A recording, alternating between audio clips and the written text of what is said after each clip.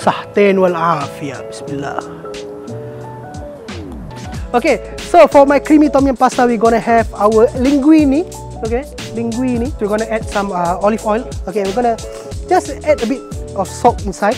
And then uh, we're gonna just wait it to cook until it goes up to a rolling boil. We're gonna actually put drop the pasta inside and just there you go. Just let the pasta be a little bit undercooked because we want to cook it again later on. Okay, so the reason why I chose uh, creamy tom yum pasta is because number one is a fusion uh, recipe okay between uh, tom yum and also uh, pasta. And uh, it, the ingredients here used are very very cheap and you can find everything from the recipes in the supermarket. It is a great meal to make you fill up during ramadan and i feel it's uh, easy to cook and easy to prepare.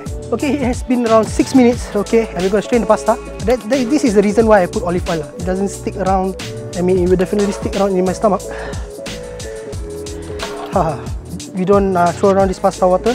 Alright, so the oil is already heated up. Okay, so we're gonna put in the onions, garlic, cherry tom, some mushrooms. Okay, we're gonna put in the chicken a little bit later. Alright. I love the smell. So now let's add in the chicken. And right now I'm gonna add in the tom yum paste. Add in our cooking cream. Okay, because it's gonna be a creamy pasta. Okay, we're just gonna add a bit from the pasta water okay into the into the pan here. Okay, just a little bit, just a little bit.